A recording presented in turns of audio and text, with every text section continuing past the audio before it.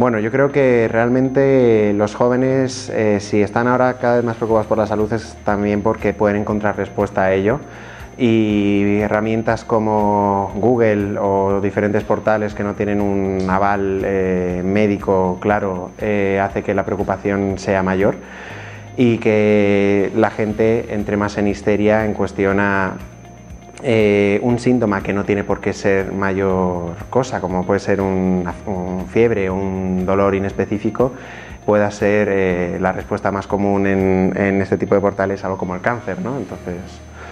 puede ser esa la, causa que explique esto.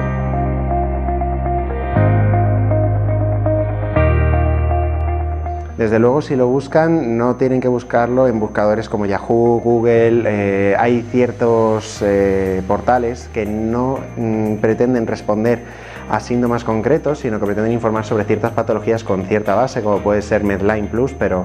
digo por poner un ejemplo, mm, pero que tampoco es una cosa que uno tenga que seguir a rajatabla. Si uno quiere realmente respuesta sobre un síntoma que se encuentra, debería acudir a su médico de atención primaria.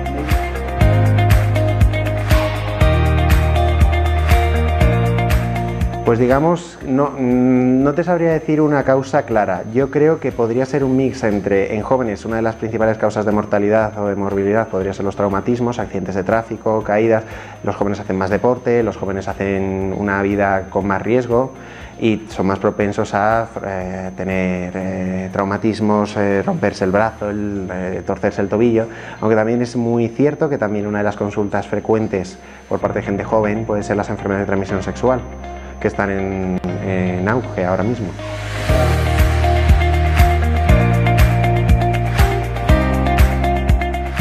Yo creo que no, yo creo que la gente joven le tiene,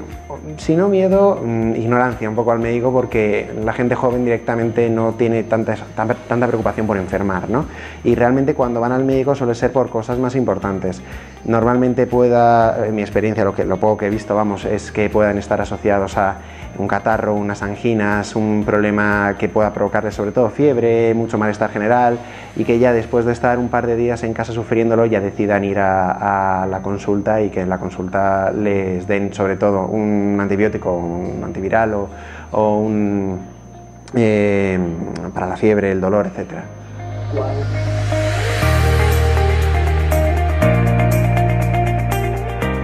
Si la gente hace una dieta equilibrada y, hace ejercicio, eh, no deberían de tener ninguna, eh, ningún, ningún incidente importante. También es cierto que sería importante que la gente conociera los problemas dentro de su familia. Muchas veces tenemos enfermedades que tienen mucha herencia o que tienen mucha agregación familiar, como decimos,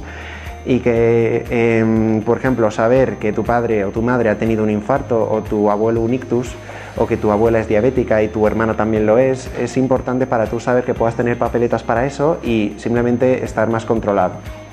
Entonces, eh, junto a eso también recomendaría eh, acudir a las fuentes fiables ante cualquier duda cualquier síntoma, como por ejemplo el médico, en vez de buscarlo en internet.